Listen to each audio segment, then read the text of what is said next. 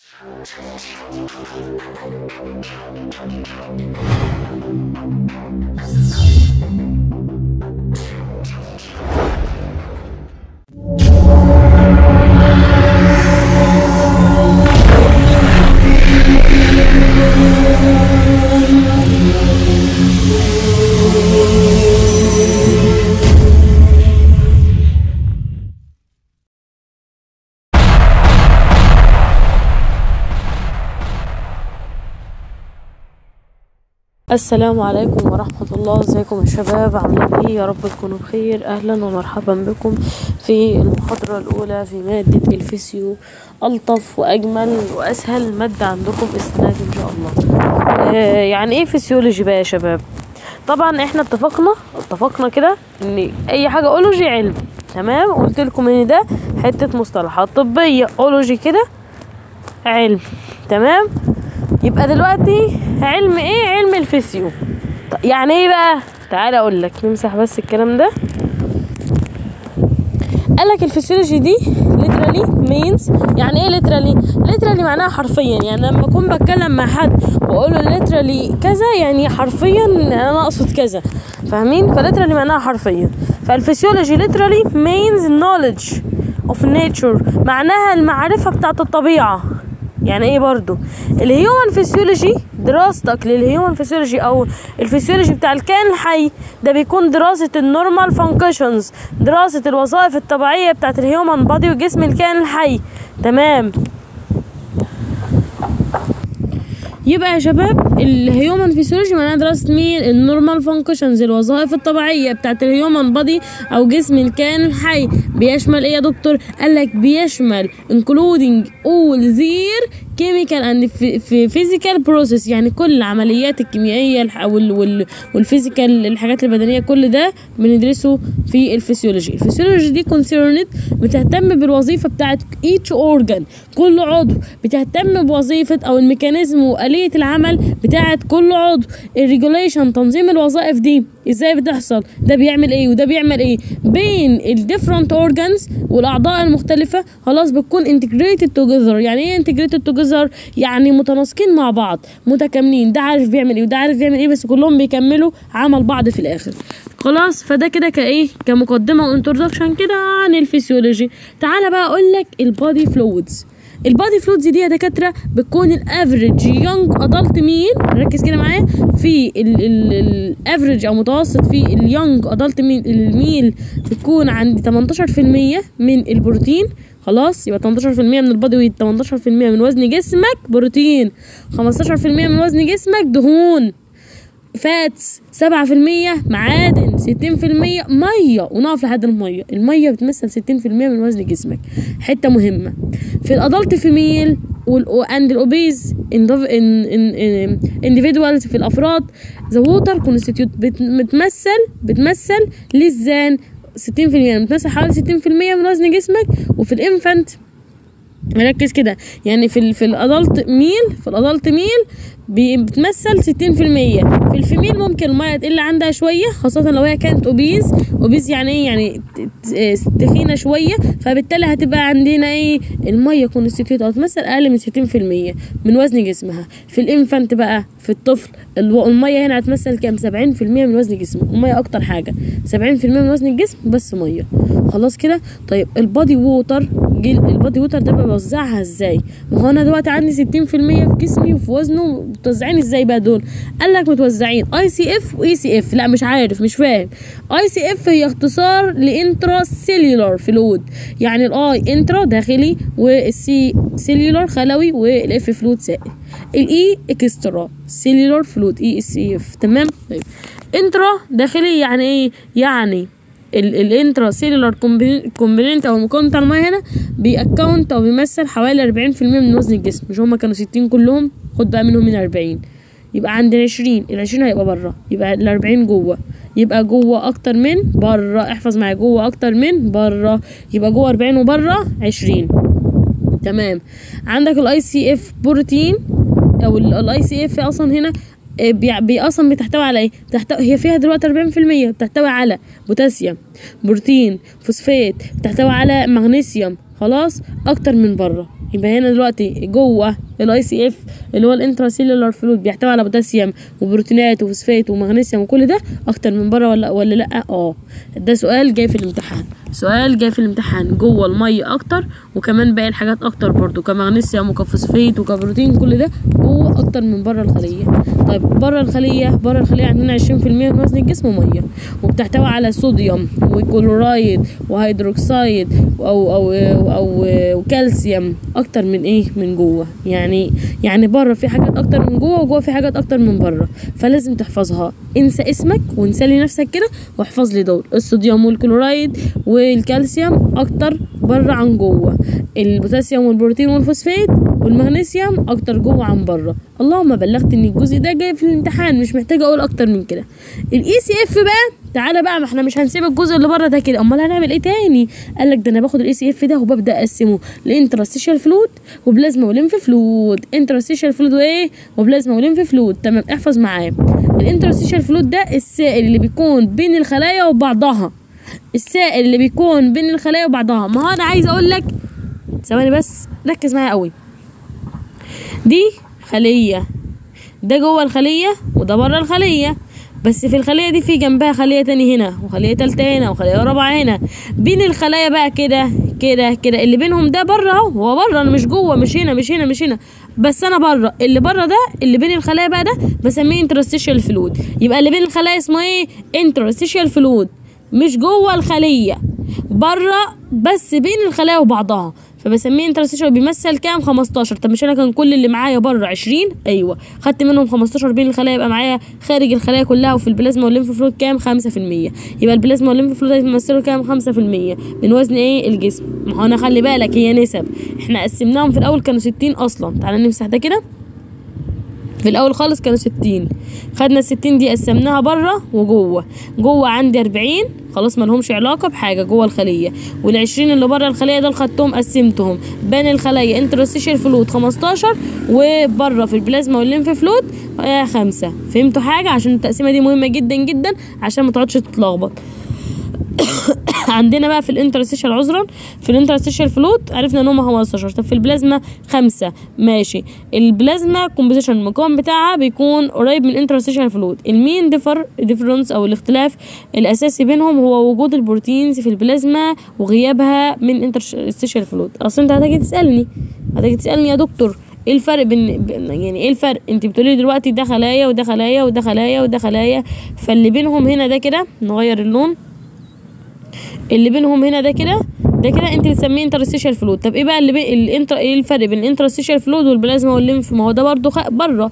هقول لك الفرق وجود البروتين. البروتين موجود في البلازما وال lymph fluid بس مش موجود في ال interstitial fluid يبقى وجود ال proteins إيه؟ في البلازما. وجود ال proteins إيه؟ في البلازما. مش موجودة فين؟ في ال interstitial fluid فهمت؟ اللهم بلغت إن الدنيا دلوقتي بسيطة خالص. طبعا جايب لك أهو بالنسبة لل female.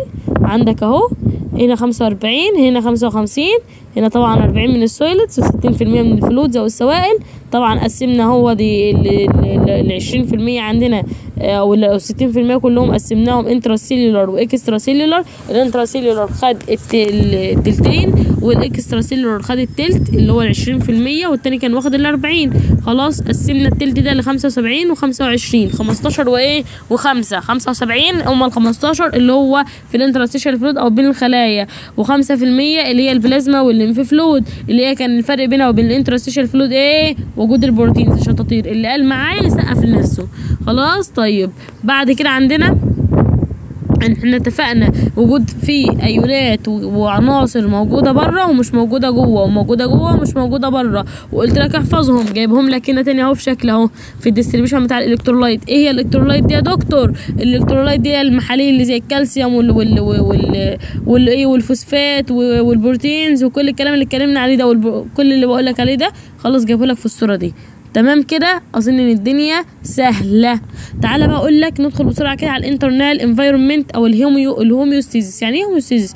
تعالى أقول لك ال internal environment البيئة الداخلية. ال cells أو الخلايا بتاعتي that make up the human body exist in a in an internal sea of ال E ال ECF يعني يا شباب أنا دلوقتي عندي الخلية. البيئة الداخلية جوه في حاجات داخلة وفي حاجات خارجة. أنا بقى ببقى لازم أحافظ على التوازن. حاجات داخلة حاجات خارجة لازم أحافظ على التوازن بين الاتنين. فالتوازن ده بسميه homeostasis يعني أنا عندي ثبات. خلاص اللي داخل زي اللي خارج على حسب ما أنا عايزة. خلاص ال cells بتحتاج إيه؟ أو بتكون مين؟ أكسجين و nutrients ومغذيات and the discharge بتخرج ال waste products يبقى هي دلوقتي داخل لها أكسجين خلاص وداخل لها nutrients مغذيات بتخرج بتخرج إيه بقى؟ بتخرج بقى ال waste products اللي هو الإيه؟ النفايات. خلاص كده؟ نمسح كل الهري ده. بتخرج مين؟ نفايات ال wastes اللي هي مش عايزاها. تمام؟ طيب لذلك ال ECF بسميه internal environment يبقى ال ECF اللي هو ال extracellular fluid ده بسميه ال internal environment اللي هو إيه؟ البيئة الداخلية. خلاص كده ال homeostasis اللي لسه بقول لك عليها الثبات. هو ان أنا عايزة يعني إيه homeostasis عشان ال definition ده جاي في الامتحان. عشان ال definition ده مهم جدا. عشان ال definition ده أهم منك أنت شخصيا. ال homeostasis ده keeping the conditions in the internal environment أنا بخلي البيئة الايه الداخلية عندي ثابتة.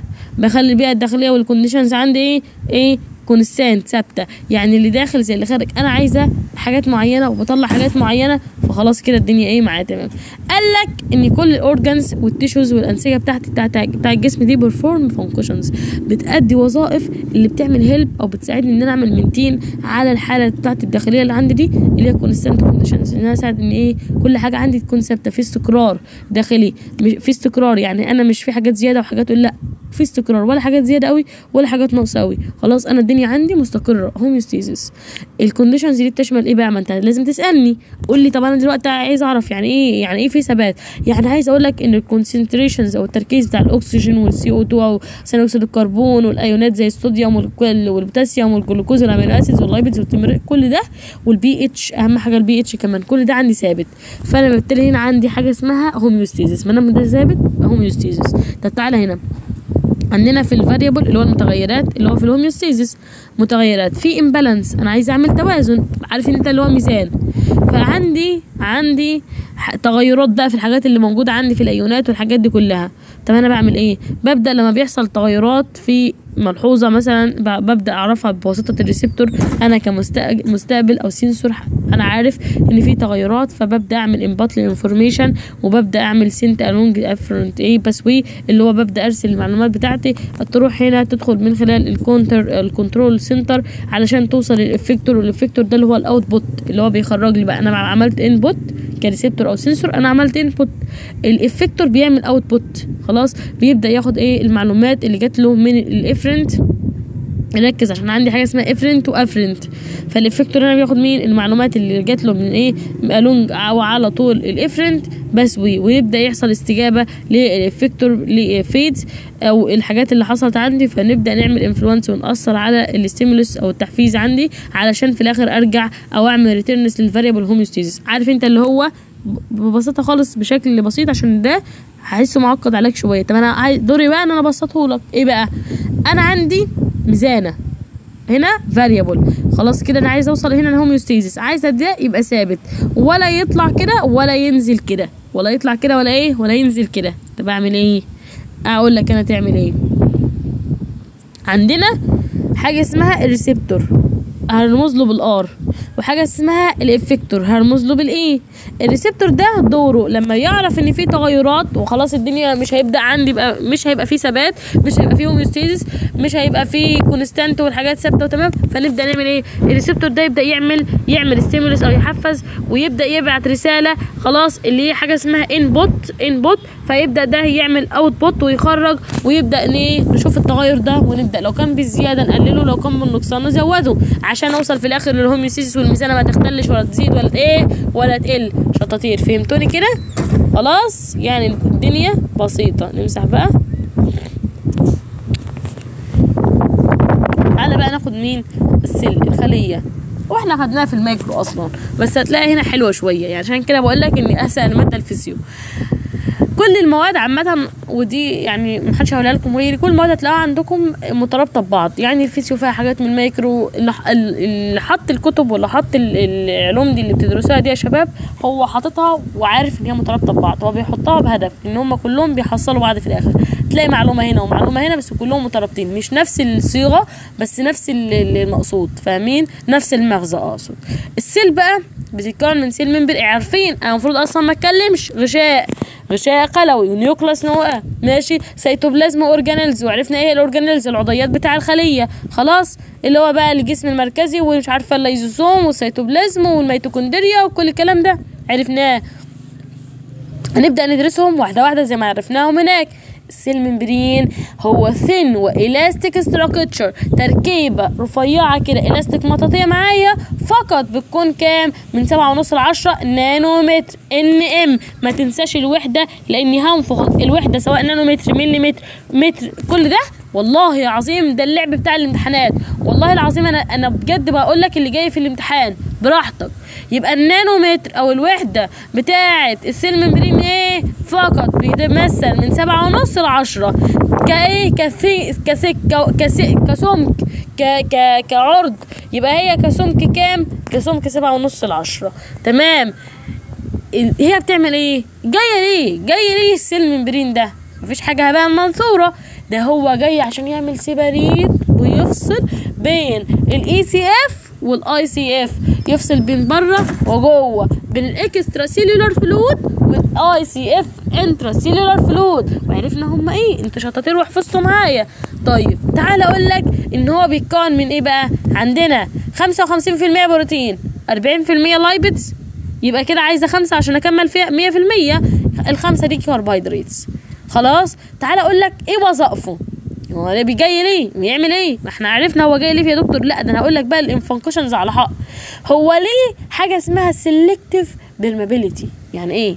نفاذيه اختيارية. مش أنا لسه بقول لك في حاجات بره أكتر من جوه صح؟ ومش أنا لسه بقول لك أنا عشان أعمل homeostasis فالخلية بتدخل آه مغذيات وأكسجين ومش عارفة إيه وتطلع ال waste products عشان يبقى عندي homeostasis والدنيا تمام؟ أيوه. طب ما هو بقى مين اللي بيعمل ده؟ ال cell membrane ليه؟ أصل هو بيختار حاجات تدخل وحاجات يقول لها لا خليك أنت بره مش عايزك. وقت ما يكون عنده حاجات ناقصة جوه يدخلها من بره. وقت ما يكون عنده حاجات زيادة من جوه طلعها بره. فكل ده بعمل إيه؟ بحافظ على الميزانة. الميزانة تبقى ثابتة. خلاص؟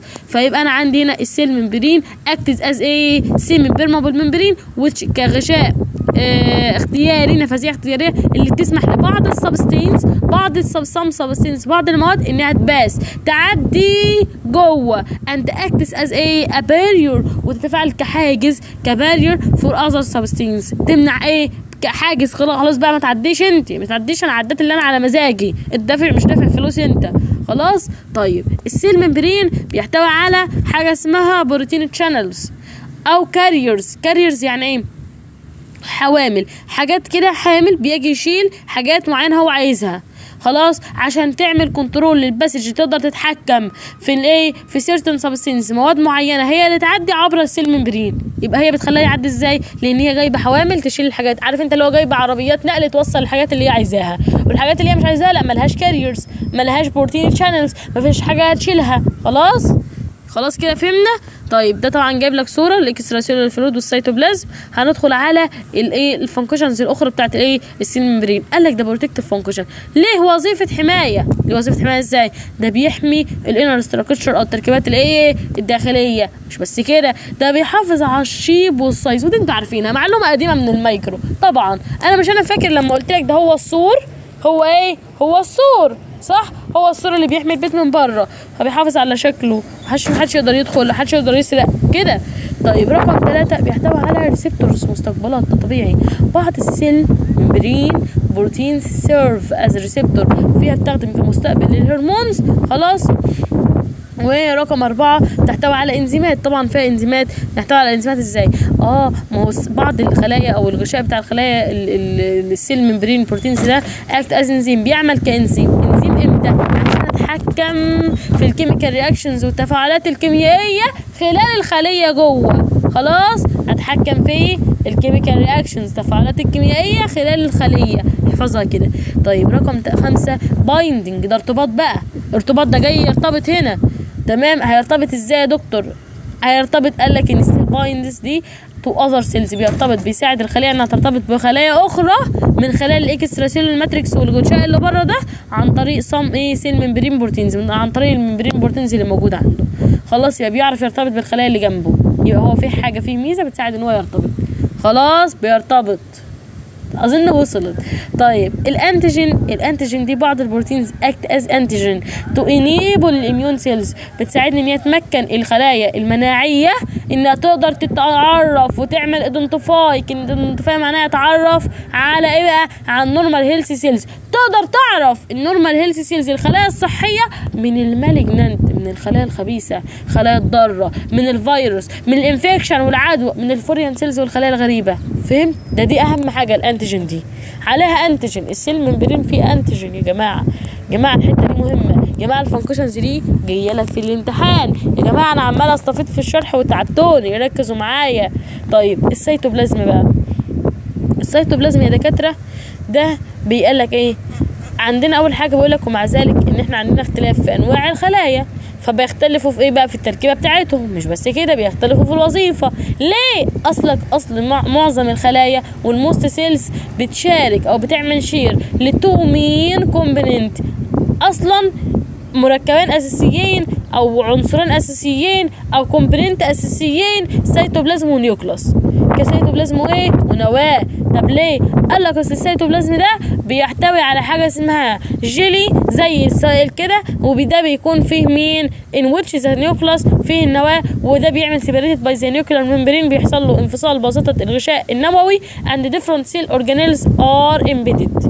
خلاص كده؟ طيب. بعض ال cell organelle with their main functions تعالى أقول لك بعض الحاجات التانية وظيفتها أول حاجة ال endoplasmic ده وظيفته إيه؟ قال لك إحنا عندنا نوعين من ال endoplasmic يا شباب واحد rough والتاني سموث الاثنين عكس بعض واحد خشن والتاني ناعم ال rough ده بيحتوي على ribosomes خلاص وده بيكون concerned ومهتم بان هو يخلق مين؟ ال protein synthesis يا رب يجي لك في الامتحان ويقول لك ان السموث endoplasmic هو اللي contains ال ribosome and concerned in protein synthesis أو هو المسؤول عن تخليق البروتين وبقى اعملها صح.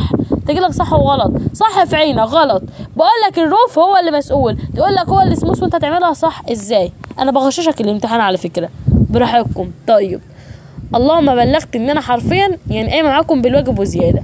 السموث بقى دوره إيه؟ إحنا لازم نعرف ال smooth ال smooth ده بقى دوره هو ما عندوش ريبوسوم. لكن اللي عنده ريبوسوم مين؟ ال rough القاسي الخشن. لكن السموث ما عندوش ريبوسوم. فبالتالي ما عندوش ريبوسوم تتصل بيه فبالتالي هو concerned بال lipid تخليق الدهون. ده ناعم فبيخلق دهون. التاني rough فعنده سمو ribosomes مسؤولة عن تخلق البروتين. يبقى واحد مسؤول عن تخليق ال fats واللايبيدات وواحد مسؤول عن تخليق مين؟ ال proteins يا شباب. خلاص خلاص. تعال أقول لك الجسم الجلو... الجلوجي أو الجيولوجي الجسم الجولجي ده يا شباب بيكون factory ده ال factory of ال cell ده المصنع بتاع الخلية. ده ماله ده؟ قال لك إن ال substance والمواد هنا بتكون formed inside the ER transported to the ببدا اعملها لما بتتشكل جوه ببدأ أطلعها وأوديها فين؟ في الجسم الجولجي علشان إيه؟ عشان يحصل لها concentrated ويحصل لها تركيز and enveloped إيه؟ enveloped into secretory granules خلاص؟ يعني تبدأ تعمل لي الإفرازات بتاعتها وخلاص كده حصل لها تخليق ده ابتدينا ندخل بقى على الليبوزوم ال- الليزوسوم sorry. الليزوسوم ده يا شباب بيكون digestive system يا نهار أبيض ده الجهاز الهضمي بتاع الخلية. يبقى الليزوسوم ماله؟ الجهاز الهضمي بتاع الخلية. يا شباب هيجيبها لك يقول لك نقط نقط are the digestive system مين هو؟ يجيب لك بقى الليزوسوم ميتوكوندريا nucleus الجسم الجولجي. بختار بقى. بختار بقى أنا غششتك أهو. طيب فدول بيكونوا tiny granules. granules بتكون صغيرة that contain hydrolytic enzymes. الإنزيمات هنا بتسمح للخلية إنها تعمل digest أو تهضم ال damaged cellular خلاص إنها تهضم الإيه؟ ال particles أو الجزيئات الخلوية التالفه تمام. كده هي عملت إيه؟ عملت كجهاز هضمي هو ولا لأ؟ صح. ده مش بس كده ده ممكن تهضم كمان ال foreign substance زي البكتيريا. يا نهار أبيض الليزوسوم بتهضم الحاجات دي بتبتلعها بتبتلعها وتعمل لها digest أي بقى damaged cell خلايا تالفة foreign substance مواد غريبة وكلام بكتيريا بقى وك... بص عايشة عايشة هي. طيب الميتوكوندريا بقى دورها إيه؟ تعالى بسرعة أقول لك إن الميتوكوندريا دورها ال power house. ال power house بتاع الايه؟ ال cell وبرضه هيجي لك في الامتحان يقول لك نقط بتكون ال power house بتاع الخلية.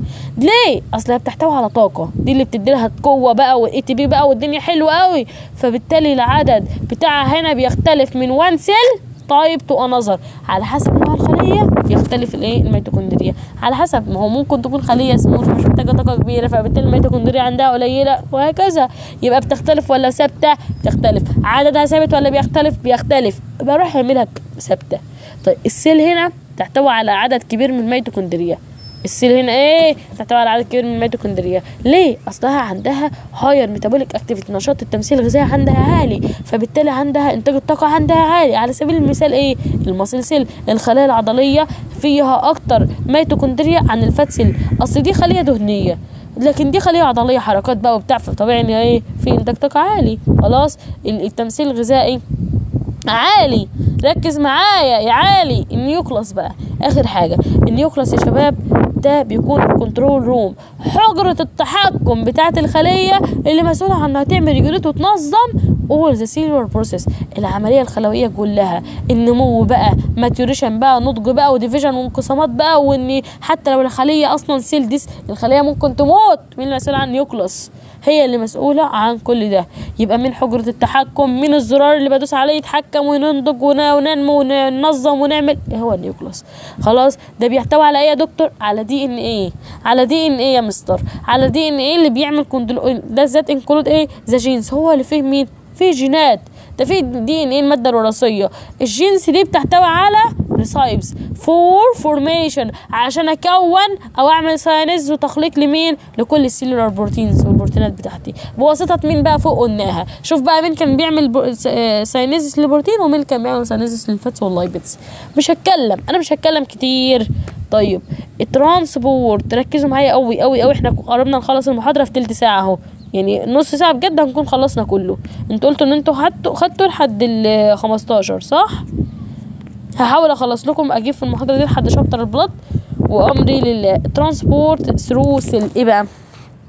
قال لك إن ال substance transport across the cell membrane into or out from the cell يعني إيه؟ المواد عندي يا شباب بتفضل دايما. عبر الغشاء الخلوي أنقل من هنا وأودي هنا. أجيب من بره وأدخل جوه. أدخل من جوه من جوه أطلع بره طب ليه؟ أصل عملية النقل دي may be along with concentration or electrical gradient أنا قلت لك إن أنا في حاجات عايزاها وحاجات إيه لأ. طب أنا لما ببدأ لما بقعد أنقل بنقل حسب التركيز. العملية دي بسميها إيه؟ هي لها اسم طبعا. ادي لها اسم طبعا. اسمها passive transport وبقى انسى اسمك وما تنساش الاسم بتاع العملية دي. أرجوك يعني أرجوك عشان جاي لك في الامتحان. ال passive transport اسمه النقل ال passive أو السلبي. وده بيحصل لأنه بيكون against